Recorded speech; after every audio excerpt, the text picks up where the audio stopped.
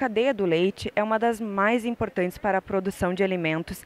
Atualmente se busca ideias inovadoras para ajudar justamente essa cadeia tão importante. Eu estou com Paulo Martins, chefe geral da Embrapa Gado de Leite, que vai me contar sobre a terceira edição do Ideias para o Leite, Desafio das Startups. Como é que funciona a gestão da terceira edição e já conseguiram mais de 200 soluções em dois desafios atrás?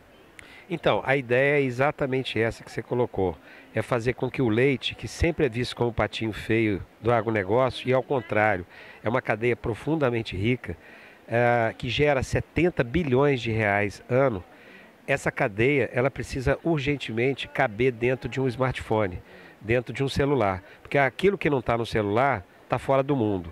E nós estamos conseguindo isso motivando jovens empreendedores que querem fazer diferença, que estão ou não vinculados às universidades.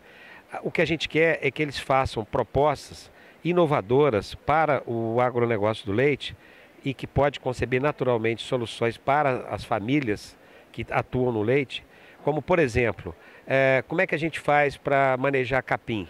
É, hoje a gente tem uma régua. Será que não dá para fazer isso com o infravermelho do celular? É possível fazer coisas assim e os jovens estão fazendo esse tipo de coisa.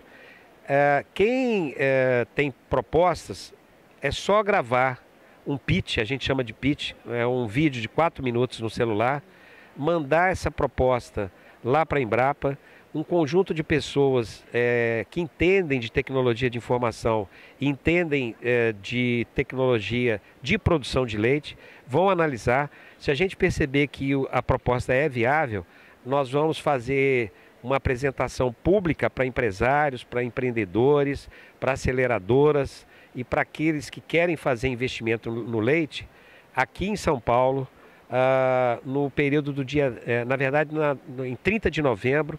E aqueles que forem então fazer a apresentação têm a grande oportunidade de mostrar sua ideia para quem quer investir em tecnologia do leite.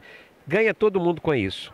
Ganha a Embrapa porque está cumprindo a sua missão e aí está se articulando com uh, empreendedores.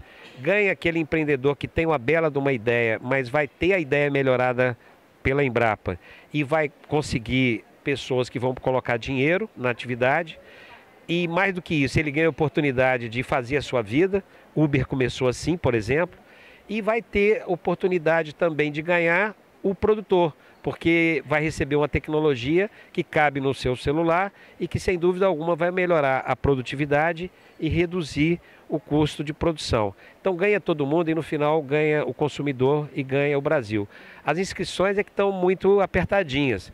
Então, e porque oportunidade não fica esperando, oportunidade passa. Nós estamos aguardando inscrições até o dia 3 de novembro no uh, portal da Embrapa. De qualquer maneira, para quem quiser ir direto lá, é o www.ideasformilk.com.br. Paulo, para finalizar, que tipo de motivação a Embrapa está usando, além dessa divulgação que a gente está conversando agora, para motivar o jovem que tem a expertise da tecnologia para conseguir conciliar com vocês que têm o conhecimento do agronegócio e principalmente da cadeia do leite?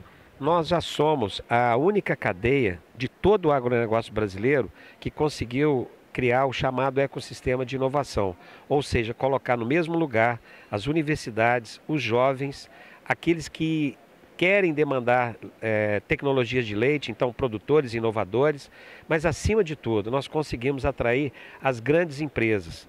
Então, é, Microsoft, uh, IBM, uh, Cisco, são uh, TIM, é, são empresas que estão participando conosco, junto com Nestlé, junto com Danone, junto com DSM. Então, o jovem vai ter oportunidade de conversar diretamente com, com esses empresários e, se não for através do Ideas for Milk, é impossível falar diretamente com eles. Motivação maior do que poder mostrar sua ideia para quem toma decisão e pode colocar dinheiro no seu negócio, eu acho que não existe eu conversei com Paulo Martins, que é chefe geral da Embrapa Gado de Leite. Para aqueles interessados em participar no desafio das startups, as inscrições vão até o dia 3 de novembro. Acesse o site da Embrapa para mais informações. Aline Merladete para o portal AgroLink.